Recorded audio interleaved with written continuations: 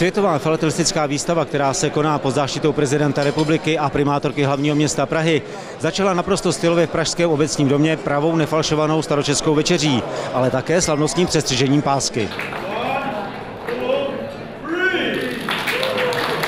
This world organization called FIP Mezinárodní filatelistická federace FIP byla založena v roce 1926 a Československo bylo jedním ze šesti zakládajících členů. To je velká historie.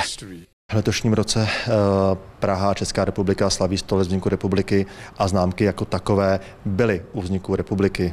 A eh, i díky tomu se takto významná a ve světě neobvyklá výstava koná v Praze. Máme tady 388 exponátů eh, z více nebo ze skoro 70 zemí, přesně 68 zemí ze všech kontinentů. To znamená, že je tady pestrá paleta exponátů z Ázie, z Tichomoří, eh, z Austrálie, Severní Jižní Ameriky a samozřejmě z Evropy. Mezi nejatraktivnější lákadla světové filatelistické výstavy Praga 2018 bez zesporu budou patřit modrý Mauricius, červený Mauricius a takzvaný bombajský dopis, které ještě nikdy jako komplet nebyly na celém světě vystaveny.